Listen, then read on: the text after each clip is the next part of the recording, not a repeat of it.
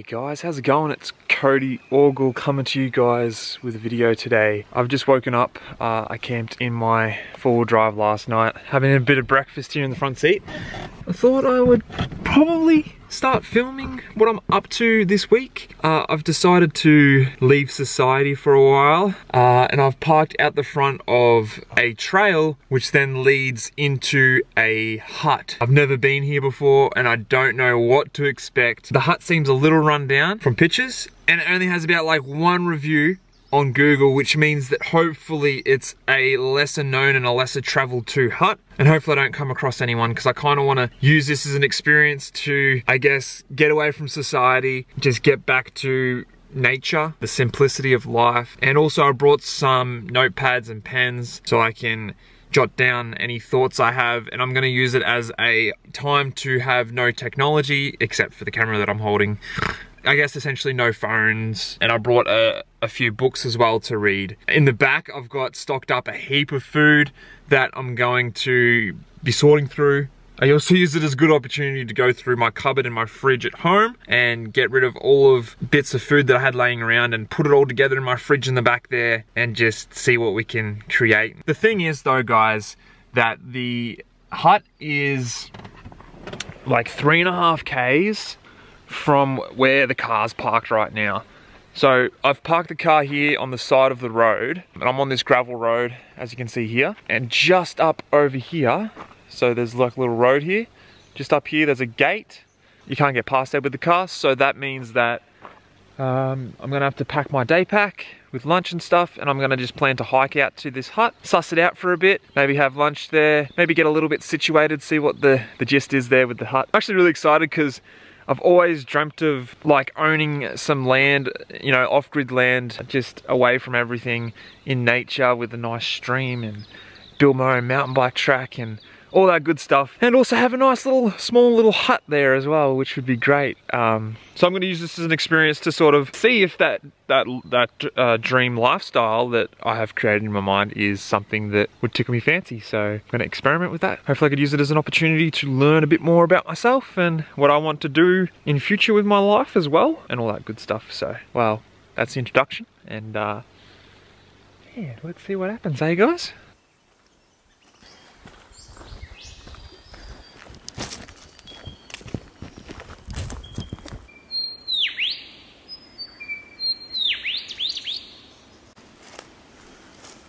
So guys, we made it to the hut. That is it right there behind me. It's a bit of a hike in to get in here actually, but now that I'm in here, um, kind of, it's a nice little quiet spot. Just completely surrounded by just bloody forest everywhere. It's beautiful.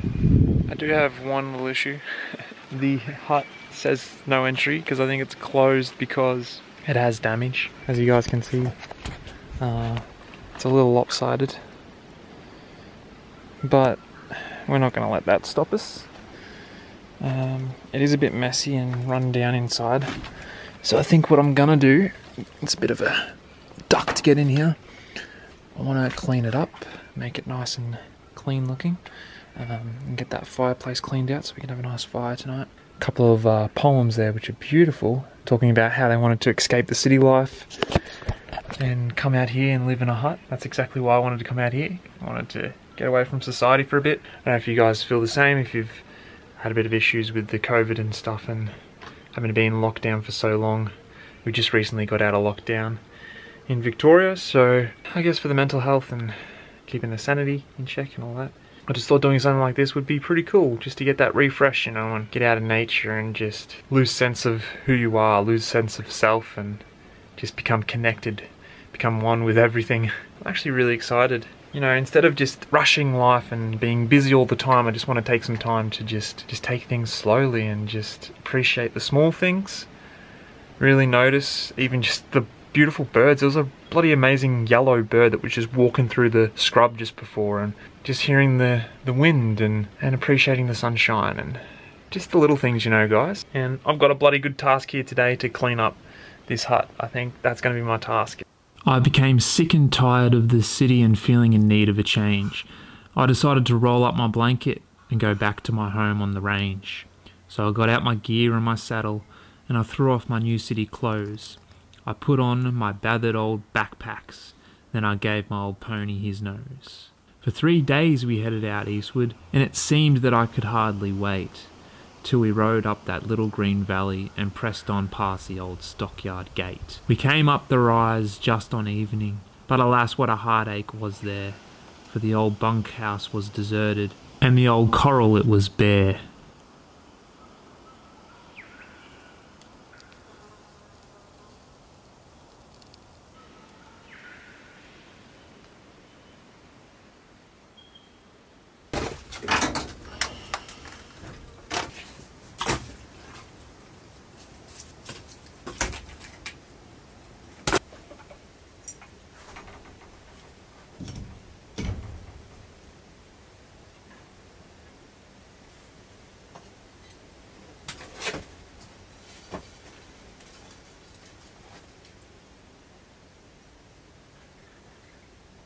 The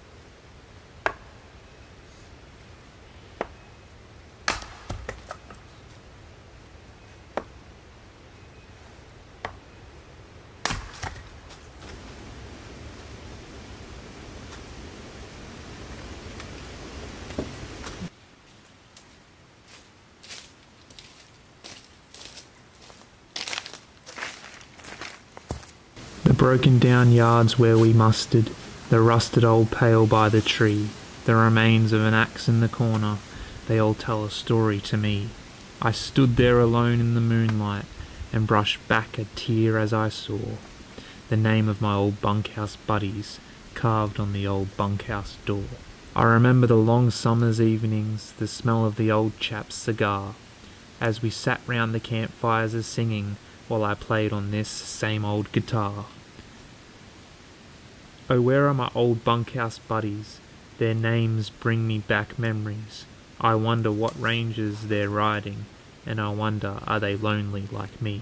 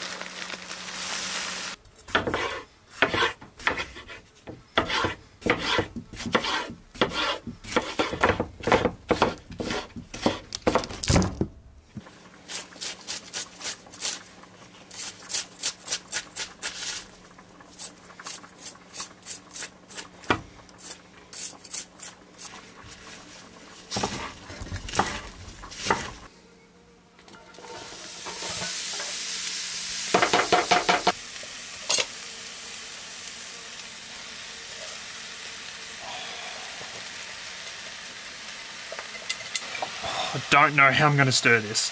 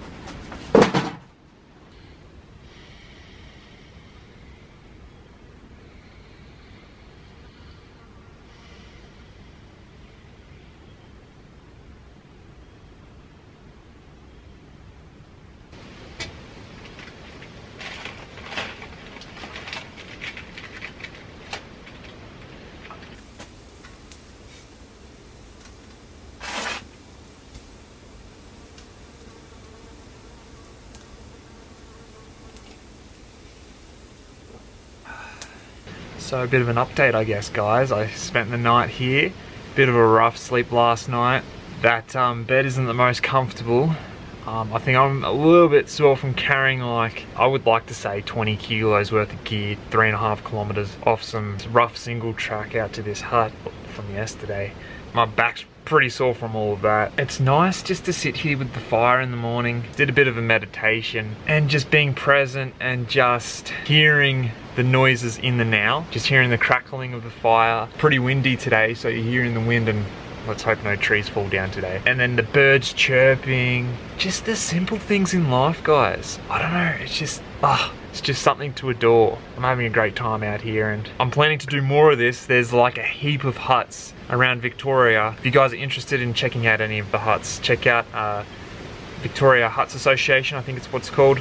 Or just look up uh, High Country Huts or Victoria Huts and they have a whole list of them. I don't know how many there is, but I'm pretty sure there's a damn few. And I've just had this idea that I want to visit all of them, obviously starting here at Jan's Stag's Hut. That would be epic. But anyway, thanks for coming along for the adventure, guys. I made it back to the car. Oh, that was really rejuvenating. Uh, got to a point there where I was bloody talking to myself because I hadn't, I haven't been in contact with any human being for over 48 hours now. I hope to to come back to another hut maybe sometime and do even like a week long or even a two week long hiatus like this see how we go. I feel very rejuvenated though so that's a real good positive. I'm kind of glad I'm back. Get access to the fridge. I got some nice cold drinks in there so I can't wait to get into those. Thank you for watching the video today guys. I hope you enjoyed it and I hope to do some more adventures like this in future. So thanks again for watching. Make sure you give this video a thumbs up. Drop any of your comments down below. I'd love to hear from you guys and make sure you subscribe for more adventures and I'll see you in the next one. Bye.